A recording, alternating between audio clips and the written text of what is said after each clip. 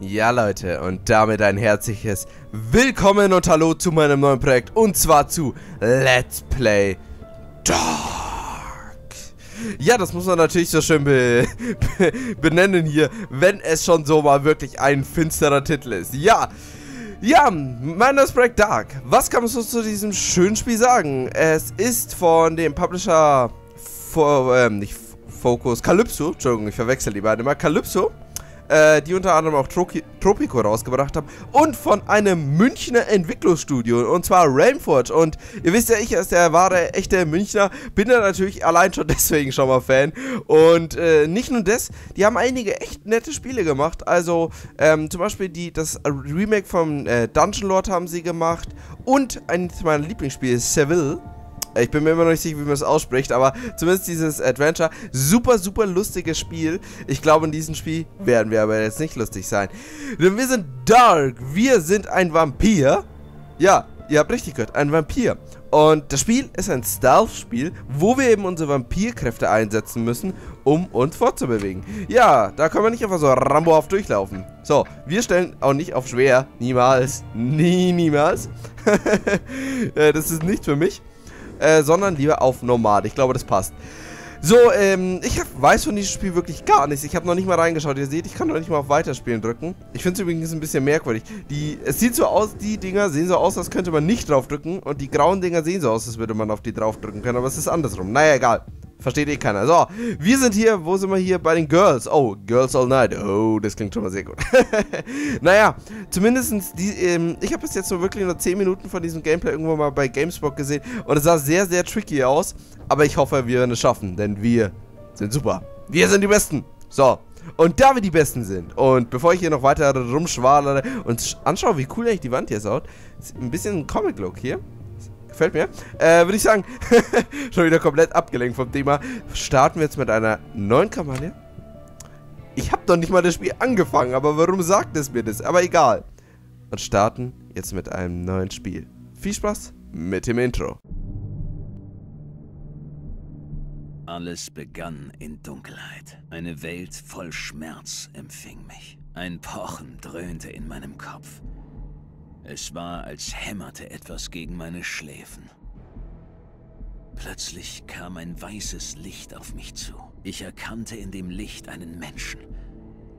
Ein Engel. Die Lichtgestalt strahlte etwas Beruhigendes aus. Eric. Der Engel sprach zu mir. Eric, es ist Zeit. Der Engel verschwand und das Hämmern wurde drängender.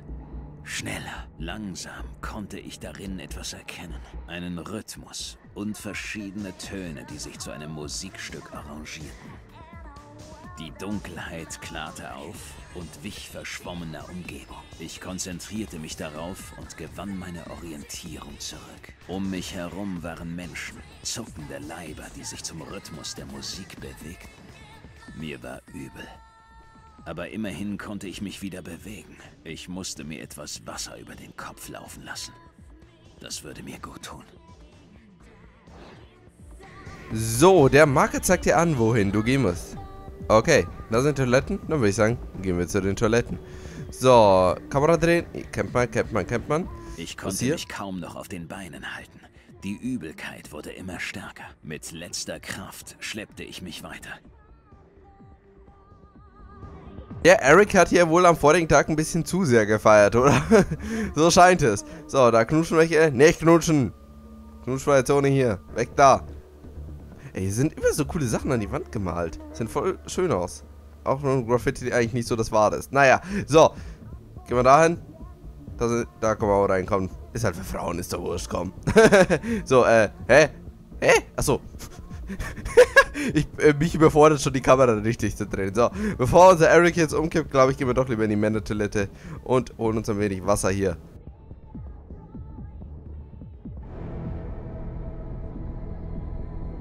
Eric, deine Aufgabe wartet. Eric. Eric Bane. Wie eine Kugel schoss der Name durch meinen Kopf. Es war mein Name. Weitere Erinnerungen an mich hatte ich nicht. Die Dunkelheit in meinem Kopf verschleierte alles.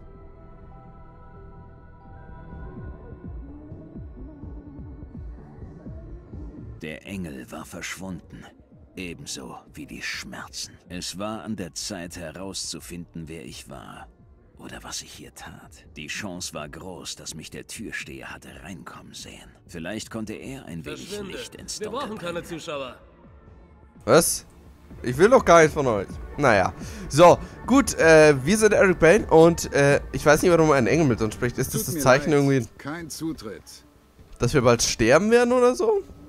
Keine Ahnung. Also bis jetzt weiß ich genauso wenig wie ihr. So. Ähm, hier ist Party. Aber ich würde sagen, wir gehen noch nicht zur Party, oder? Oh, die Maussensibilität ist ein bisschen sehr hoch. So. Reden, cool. Ist was? Super. Ich dachte, er sagt jetzt irgendwas Tolles und super, ist was. wow. So, Türsteher, hast du was zu Hey. sagen? Ja? Was willst du? Ich wollte fragen, mehr kam mir nicht über die Lippen. Der Anblick seiner Waffe weckte eine Art Erinnerung.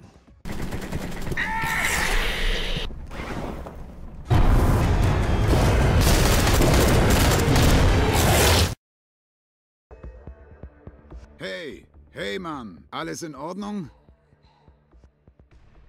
Ja, ja, schon gut. Mir geht's blendend. Bin ich alleine in den Club gekommen oder war jemand bei mir? Keine Ahnung, meine Schicht hat gerade erst begonnen. Mein Boss stand vorher an der Tür. Wo kann ich den finden? Er wird sich sicher irgendwo hinten rumtreiben. Frag an der Bar nach Tom. Dieser Erinnerungsfetzen hatte sich verdammt echt angefühlt. Auch wenn ich ihn nicht ganz verstand. Was sollte ich daraus machen?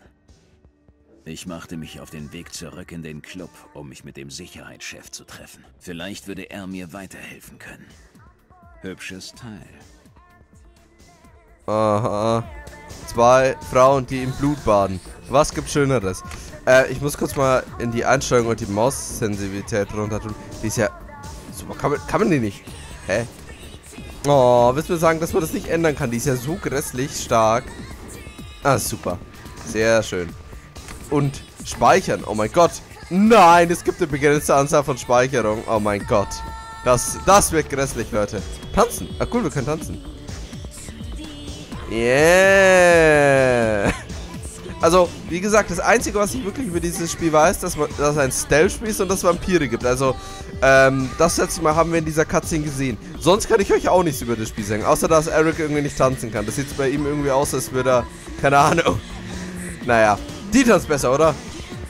Im Käfig da oben.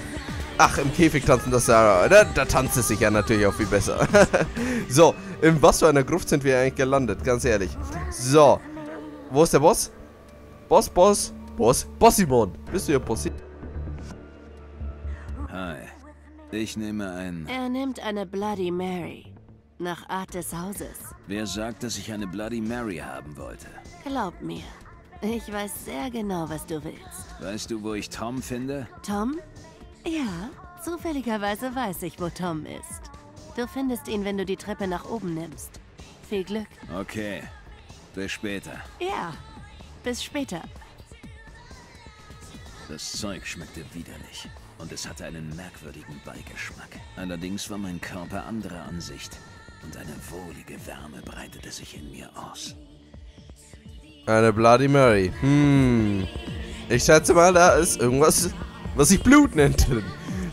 ja, und, ähm, was mich gerade wundert, warum redet ihr nicht weiter mit der Frau da? Hallo, ganz ehrlich, äh, sollte doch mal merken, dass die Frau hier irgendwie... Hallo? Hast du was sagen? Ne, super, nicht. Äh, dass die Frau irgendwas über ihn weiß. Ich würde halt erstmal die Frau ausquetschen, aber naja. Naja. So, wo ist Hey, jetzt der Mann. Boss? Alles klar? Kennen wir uns? Nicht direkt, Mann, aber kennen wir uns nicht alle irgendwie? Ich meine, wir sind ja quasi eine große Familie. Ich habe keine Ahnung, von was du sprichst. Scheiße, Mann.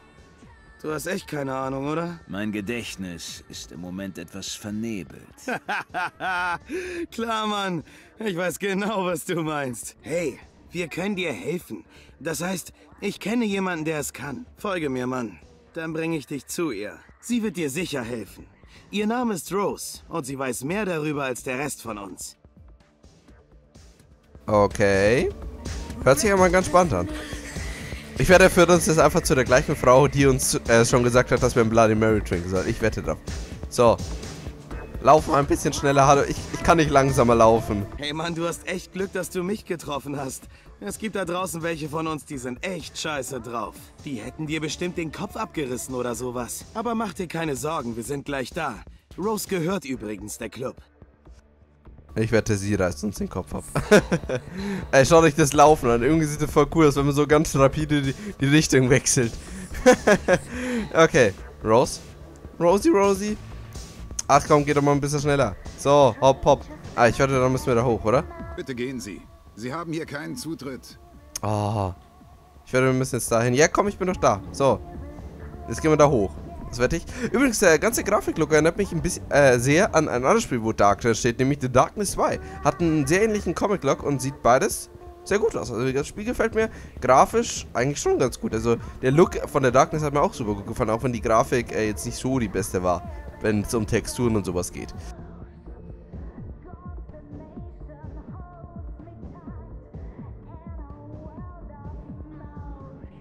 Hallo, Tom. Ich sehe, du bringst einen Gast mit. Schön, dich wiederzusehen. War der Drink in Ordnung? Hey Rose, der Typ hier hat keine Ahnung, was Sache ist. Er kann sich an nichts erinnern. Und er ist ganz alleine hier? Sieht ganz so aus. Hey, ich bin noch hier. Könntet ihr mir mal erklären, was hier los ist? Ich habe keine Ahnung, von was ihr redet. Du bist ein... Vampir. Ein Vampir wie Tom und ich auch. Na klar. Danke für den Drink und nichts für ungut. Aber ich gehe dann mal. Tom, zeig es ihm.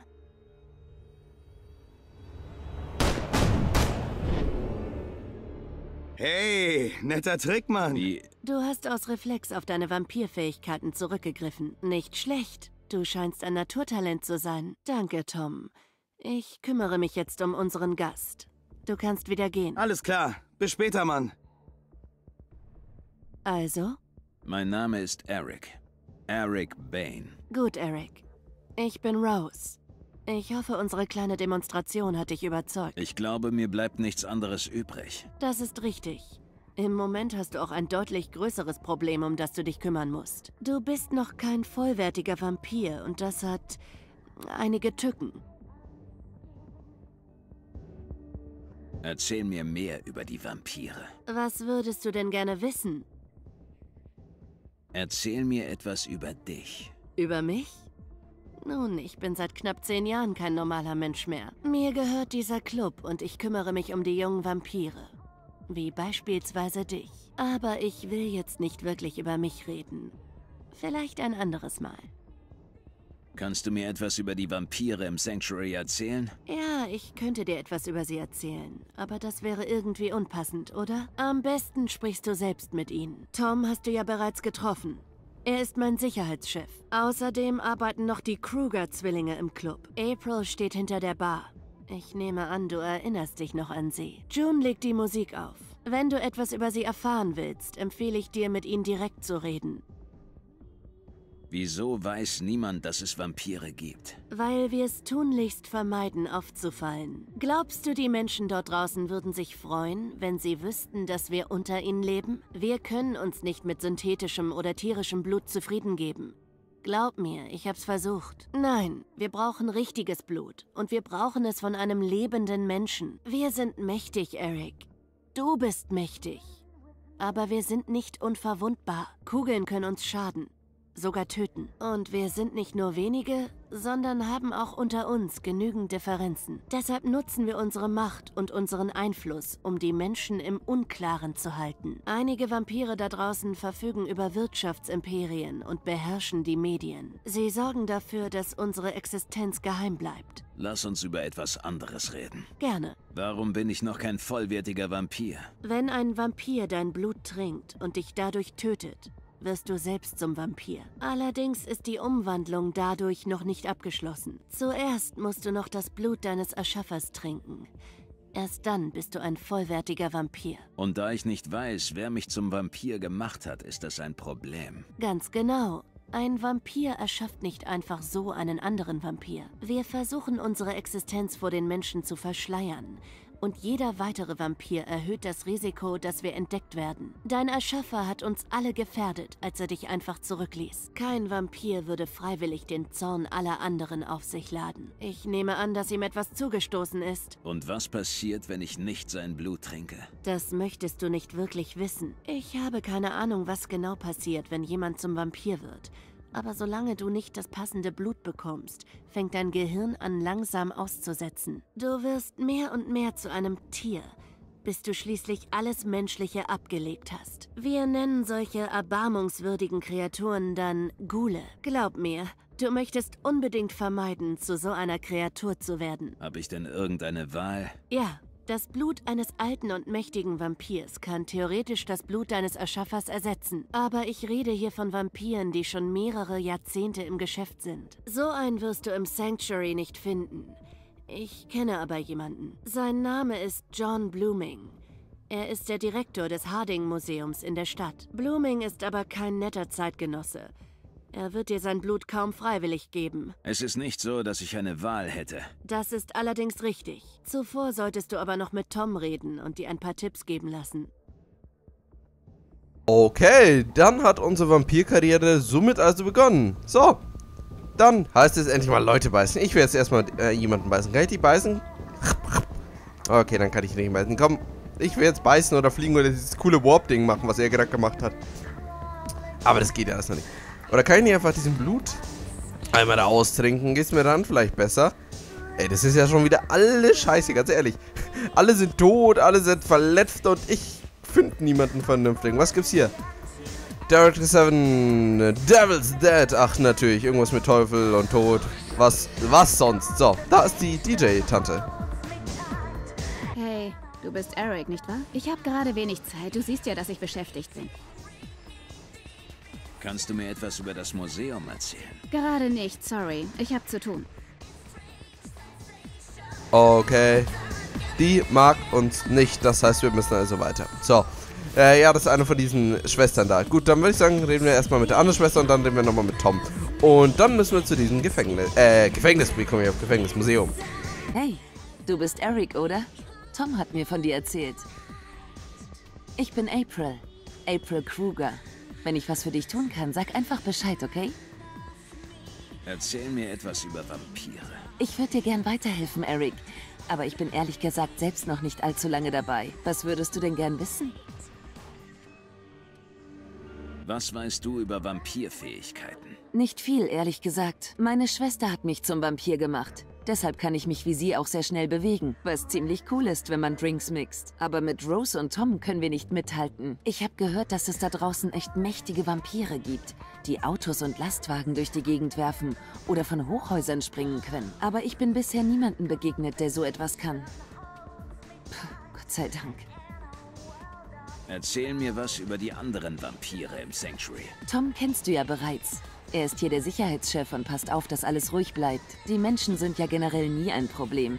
Aber ab und zu lassen sich hier andere Vampire blicken. Bisher war aber alles unter Kontrolle. Rose gehört der Laden. Sie ist ein echtes Computergenie und kann mit allem umgehen, was mit Technik zu tun hat. June ist meine Schwester.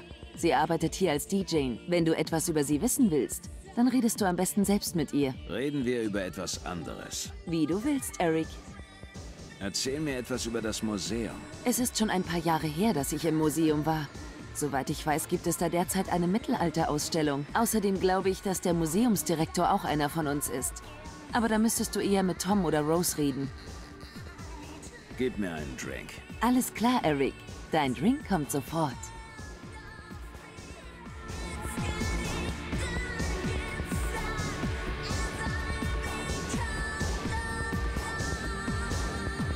So, nach einer guten, leckeren Runde Blood Mary geht es uns gleich wieder besser. Ich frage mich, was das gerade war, was da links oben war. Okay, das weiß ich jetzt nicht, sah aus wie eine Pause-Taste, aber egal. Naja, Leute, ich würde sagen, wir müssen jetzt erstmal einen kleinen Cut machen und sehen uns dann beim nächsten Mal wieder bei Let's Play Dark. Bis dahin, euer Dämsmurfix, haut rein, ciao.